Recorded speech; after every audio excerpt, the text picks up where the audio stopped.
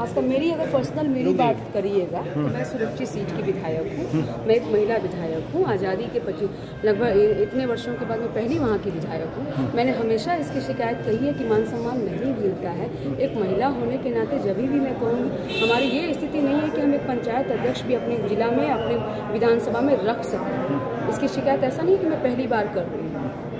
मेरी जो ये और हम लोग पढ़े लिखे लोग हैं अगर आप सोचते होंगे कि यहाँ कोई लोग कोई गाली गलौज कराकर कोई उसको दबाकर तो आप दलित जग चुके आप दलित नहीं बर्दाश्त आरजेडी में आरजेडी में गाली दी जाती थी आपको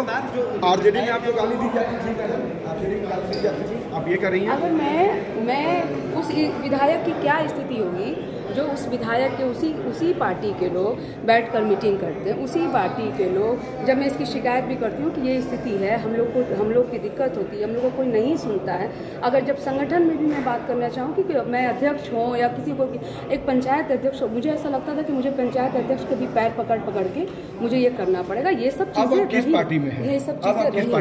मैं अभी अभी अभी मैं ये